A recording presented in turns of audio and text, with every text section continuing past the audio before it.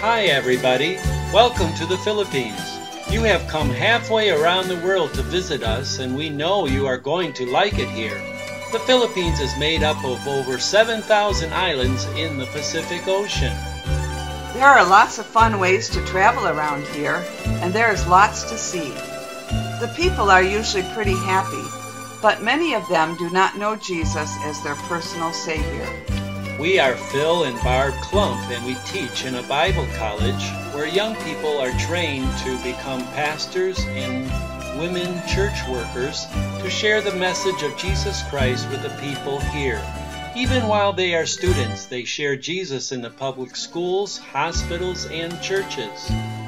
We have a beautiful campus, but a few years ago our main building started falling apart.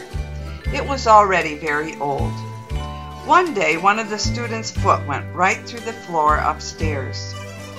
We prayed hard that God would give us a new building, and now it has already started.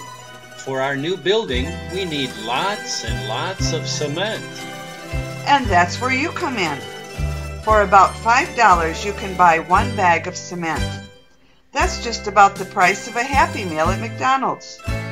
How many bags do you think you could buy to help us finish up our building?